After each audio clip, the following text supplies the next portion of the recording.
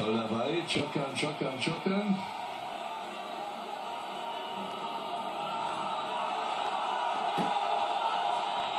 Das wäre natürlich das Überzeugendste für Christian Hammer, wenn er den Kampf hier vor der Zeit beendet.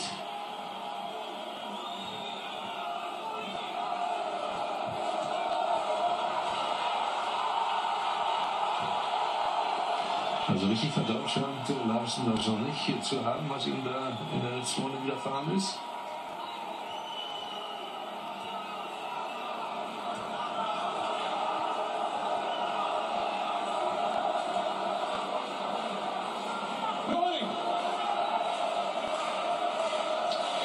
Ist auch nicht clever zu halten. Jedenfalls nicht für Christian Schocker oder Christian Hammer. Der sollte wieder den Hammer rausholen und der ganze Sache am Ende machen.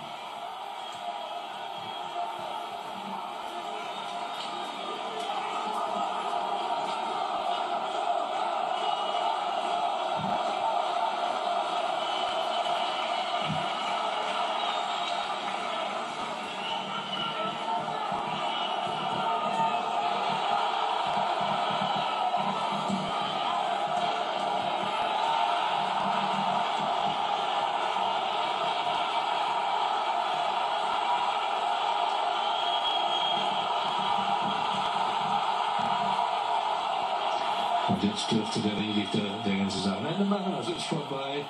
Gar keine Frage. Und äh, wir brauchen uns nicht mit äh, dubiosen Unentschieden oder Punktsiegen abzufinden. Jetzt muss aber erstmal darauf äh, geachtet werden, dass äh, Live Larsson auch wieder auf die Beine kommt, dass da alles seinen äh, guten Gang geht.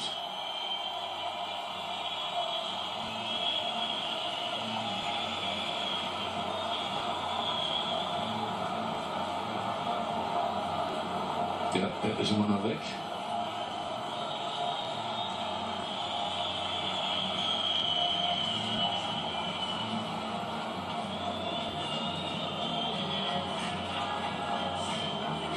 Naja, das äh, geht wieder. Alles in Ordnung.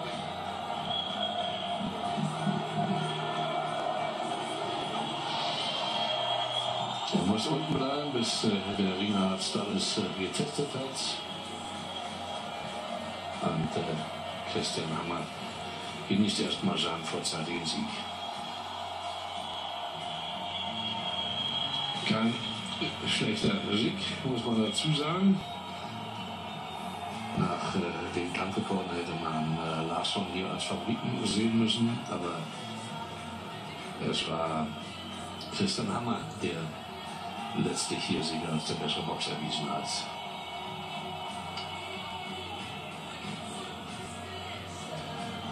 Man könnte natürlich, äh, was die Technik angeht, angeht sagen, unter Blinden ist der einäugige König.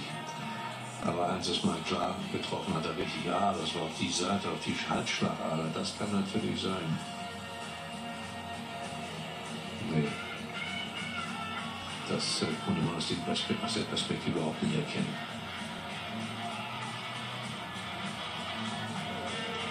Da kam nochmal